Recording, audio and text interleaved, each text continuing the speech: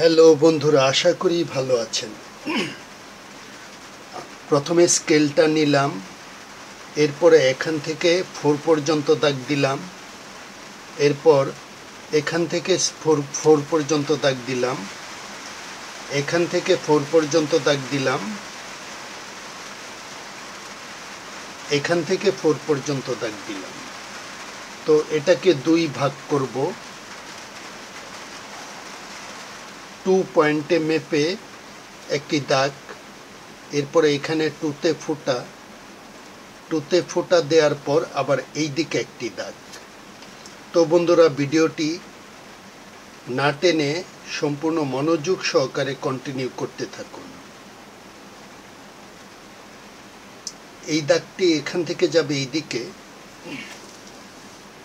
এরপর এটি যাবে এই দিকে এখান থেকে এই দাগটি আসবে এই দিকে, এরপর এখান থেকে এই দাগটি যাবে এই দিকে। এখান থেকে এখানে আসবে, এখান থেকে এখানে যাবে।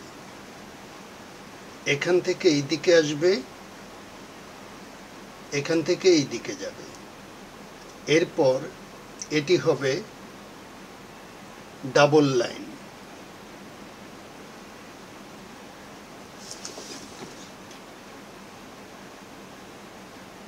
ঠিক আমি যেভাবে করছি ঠিক সেরম সেরকম ভাবে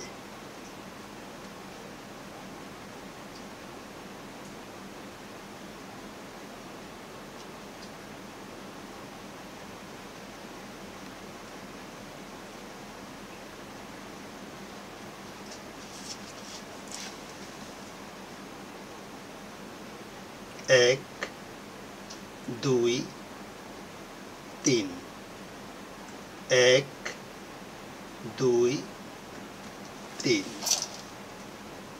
এখানে একটি গোল, এখানে একটি গোল, এখানে একটি গোল। এখানে গোল এখানে গোল এখানে গোল। তো বন্ধুরা, হয়ে গেল সুন্দর একটি প্রজাপতি, যা আপনি আপনার সন্তানকে খুব ভালোভাবে শেখাতে পারেন। তো বন্ধুরা, চলুন এটি সাইন পেন করে ফেলি, তারপর দেখি এটি কেমন দেখা যায়।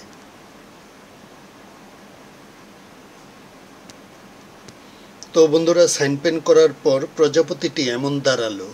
আপনি ইচ্ছে করলে এটি আপনার পছন্দ মতো রং করে ফেলতে পারেন। তো বন্ধুরা, আমাদের ভিডিওটি আজকে এ পর্যন্তই। ভালো থাকবেন, সুস্থ থাকবেন। খোদা হাফেজ।